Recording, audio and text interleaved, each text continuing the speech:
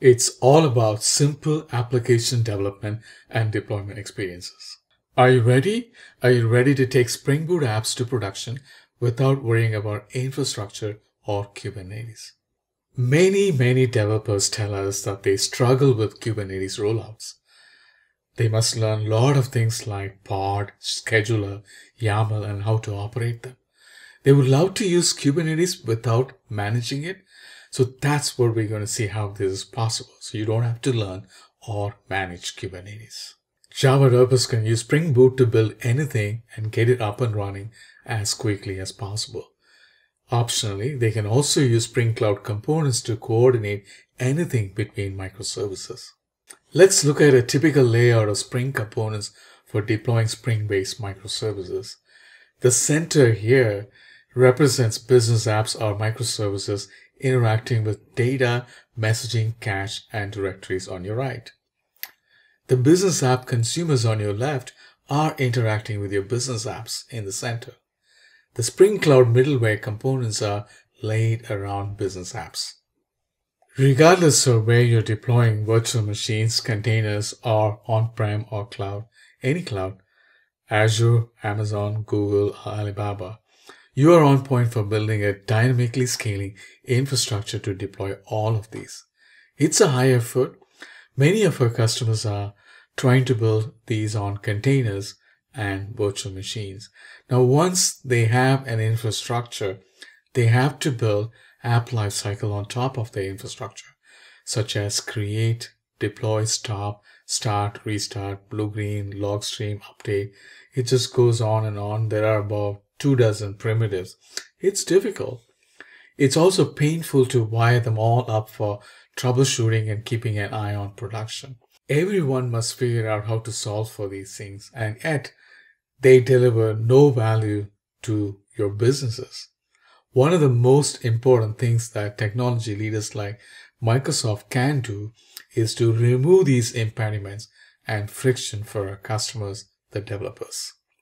So we started to ask the question, what if we could remove these impediments for even more developers?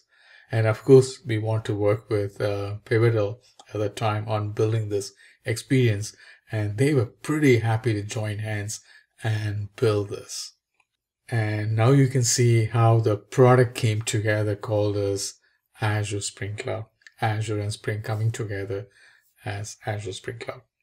Azure Spring Cloud is a fully managed service for Spring Boot apps that lets you focus on building and running the apps that run your business without the hassle of managing infrastructure you can simply deploy your jars or code and Azure Spring Cloud will automatically wire your apps with the Spring Service Runtime.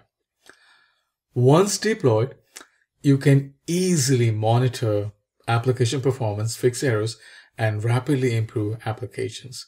It's integrated into Azure's ecosystem and enterprise ready. The service is jointly developed, operated, and supported by Microsoft, and VMware. And the exciting part is you get the power of Kubernetes, but you don't have to really worry about learning or managing it. A little more details here. The big rectangle is Azure Spring Cloud. It's built on Kubernetes. Your apps are running in one of the two dedicated Kubernetes clusters for each service. Your apps can interact with any Azure service or external services. Logs, metrics, and alerts are available through Azure Monitor. You can use Azure Log Analytics, Elastic, or Splunk to monitor it end to end. You can secure your apps using Azure Active Directory.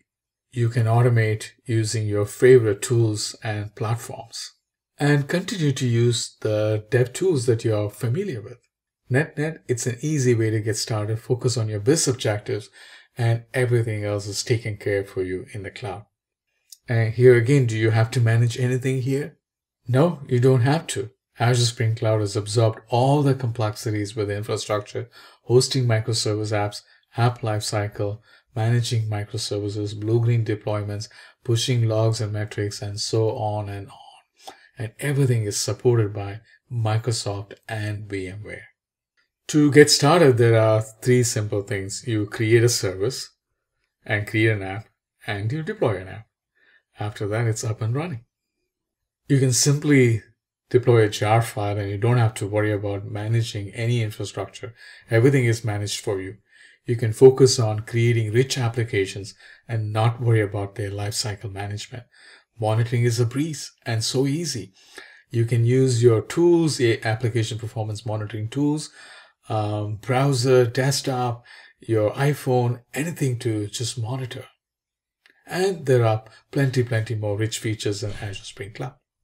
Once your Spring Boot apps are up and running, they can interact with Azure data, cache, messaging, and directory services using rich idiomatic Spring integrations. Azure Spring Cloud is now available in 17 regions from Australia to Far East to Middle East to Europe to Americas across four continents and we are continuously expanding about five regions per quarter.